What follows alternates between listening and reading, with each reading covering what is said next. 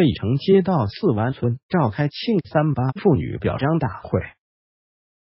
为纪念第一百零八个三八国际劳动妇女节的到来，激励广大妇女以饱满的热情和最佳的状态投入到新农村建设中来，以健康向上、充满活力的精神面貌树立新农村妇女形象。三月七日。费城街道四湾村赵凯庆三八妇女节表彰大会，一百余名妇女参加活动。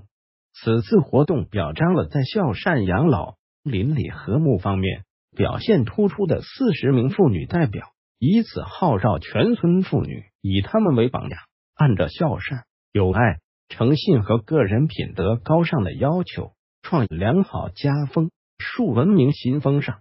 通过典型示范带动作用，在全村形成尊老爱幼、家庭和谐、邻里和睦的良好氛围。